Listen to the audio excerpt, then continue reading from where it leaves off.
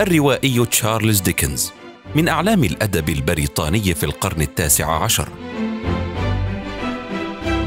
عرف بالنقد اللاذع للانحراف القيمي في مجتمعه. ولد ديكنز في إنجلترا ونشأ في حي فقير. في سن الثانية عشرة سجن والده بسبب الديون. اضطر لترك المدرسة والعمل في تلميع الأحذية. والعيش بعيدا عن عائلته. تجربة الألم المبكرة تركت أثرا بليغا في نفسه وشكلت مفهوما جديدا للحياة في ذهنه المتوقد.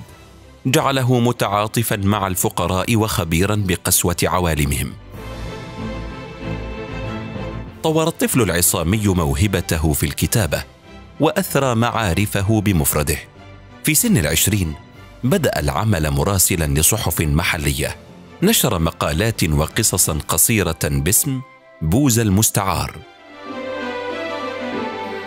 حظيت أعماله بشهرة واسعة شجعته على نشر روايته الأولى مذكرات بيكويك على شكل حلقات شهرية حققت نجاحا منقطع النظير بين العامة وجمهور النقاد. نال شهرة عالمية بإنتاجات مميزة. أوليفر تويست ديفيد كوبرفيلد الأوقات الصعبة قصة مدينتين وغيرها الكثير.